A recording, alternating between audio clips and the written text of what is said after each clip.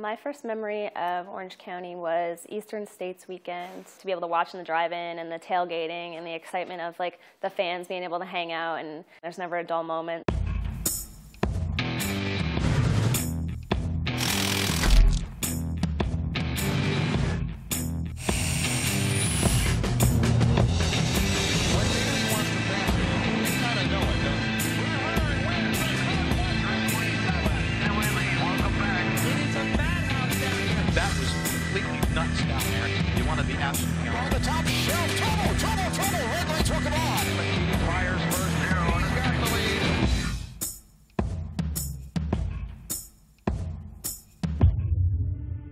The world of sports has many main events.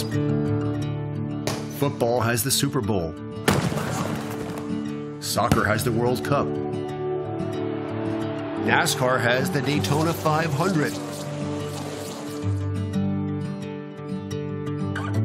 And the Orange County Fair Speedway has the Eastern States 200. Gary, this is the 39th edition of the Eastern States Weekend. What a history both for this track and for this event. It is. Anytime you do things for 39 years in a row, it means it's successful. And this is probably the biggest and best, and certainly the best one in a long time.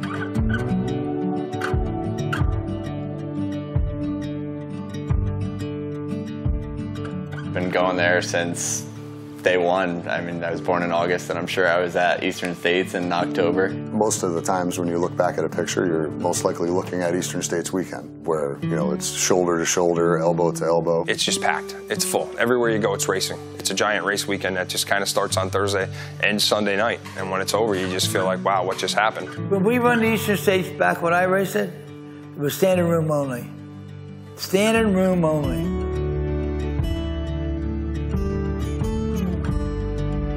The Eastern States 200 is an annual race that has been held at Orange County Fair Speedway since 1962.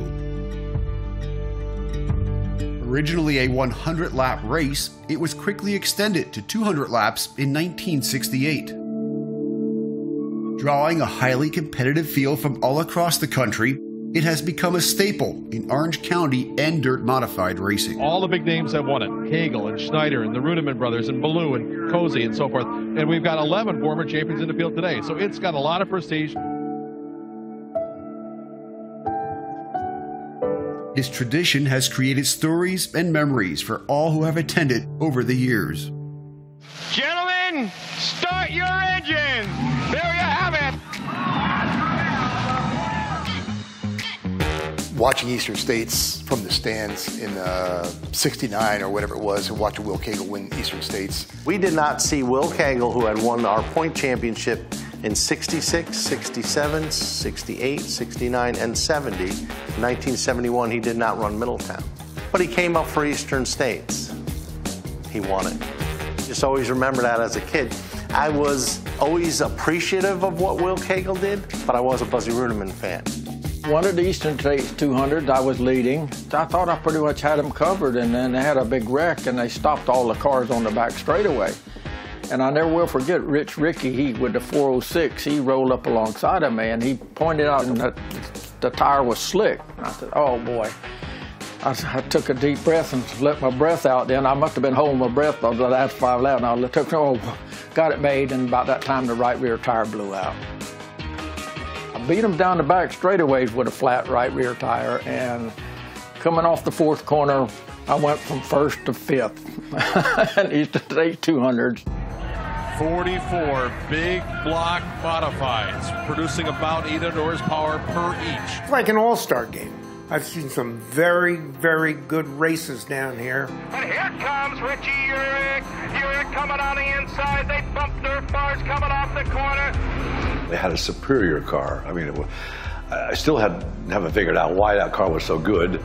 I, I can still remember that race that I had to actually slow myself down because I, I didn't want to mess up at all. Or, but the car, would- the car would have went two or three tenths of a second faster if I pushed it. The first race I, I run Middletown Eastern States I won, we had radios. And I'm going to say 75% of the field didn't.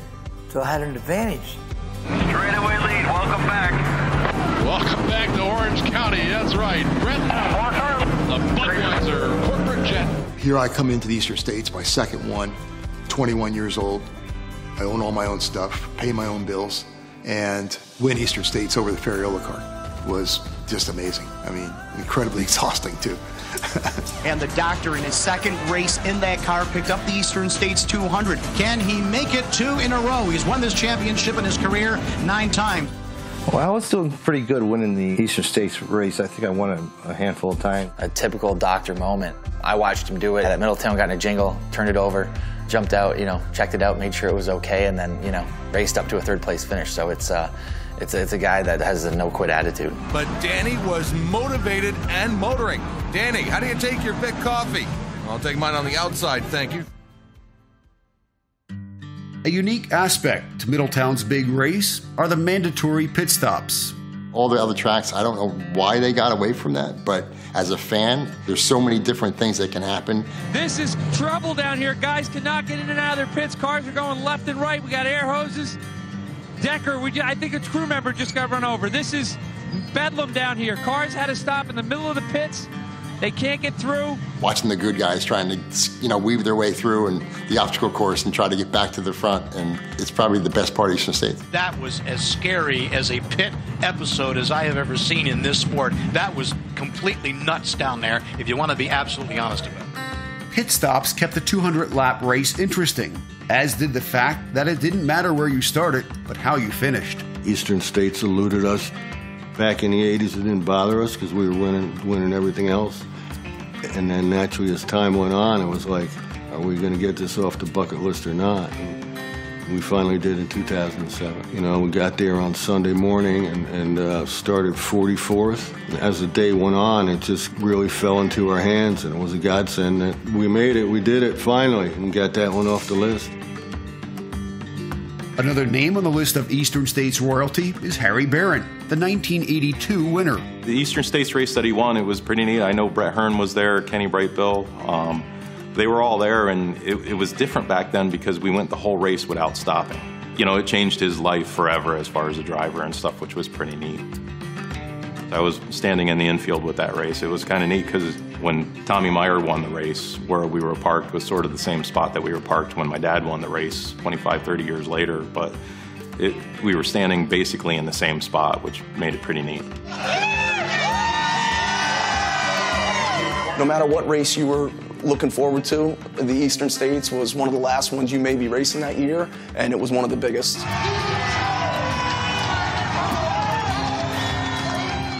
to get that honor of being able to win it is incredible. Yeah, it's it's it's awesome. Still to this day, can't believe that I won it. And uh, I just I sat in that car that day, and it was a it was a perfect car. It was a perfect storm. And I won that race that day, the 200 lapper, easier than I won a whole bunch of other races. And it was just weird. Everything came together that day. It just it all happened so fast. It was amazing. And to this day, I look back at it, and I'm just like I, I'm blown away that I won it. Stewart Friesen leading the Eastern States. There was some type of scoring error, and they put him back to second. And he knew he was first. And they came on the radio and said, "No, you're second. And I said, "There's no way we're second. You know, we're, we're clearly leading by like car lengths." Uh, I was his crew chief that time, so we couldn't find any officials to talk to. So we stopped the car on the track on the front stretch, sat Indian style on the roof, and uh, it was a classic move. I don't know what to say. You know, they made a huge mistake, and it cost us the race, and whatever. You know, it's. Uh, super unfortunate. It ended up being a pretty crazy scene uh, unfolding towards the end of the race, and uh, and I, I really haven't forgot.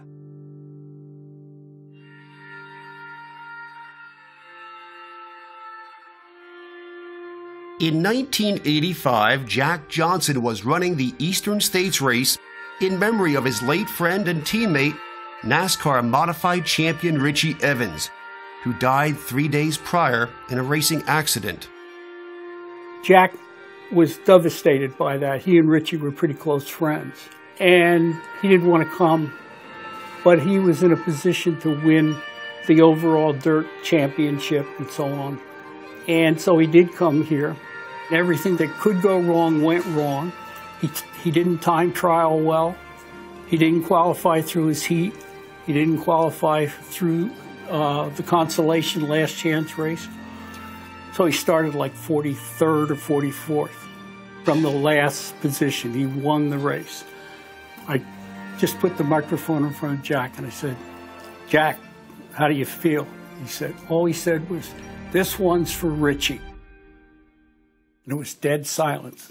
And I looked around. A lot of people were crying. And uh, that to me was probably the most dramatic moment that I've ever experienced in, uh, in racing.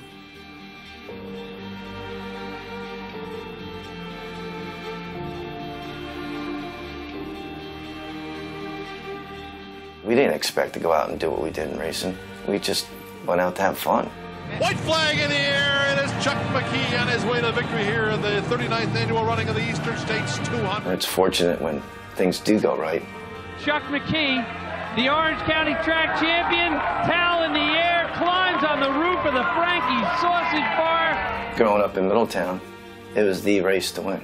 You know, if I would have quit racing that day, I would have been fulfilled. That's what it meant to me.